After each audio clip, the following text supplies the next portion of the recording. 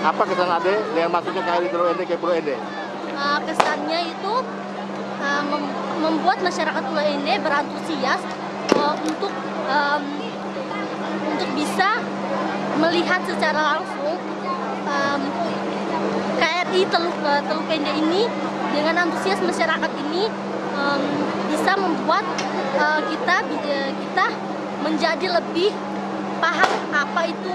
uh, apa itu makna dari Hari Pancasila ini dan lebih jela- dan lebih uh, memperdalam lagi ba- bagaimana kita bisa uh, melihat secara langsung kapal ini.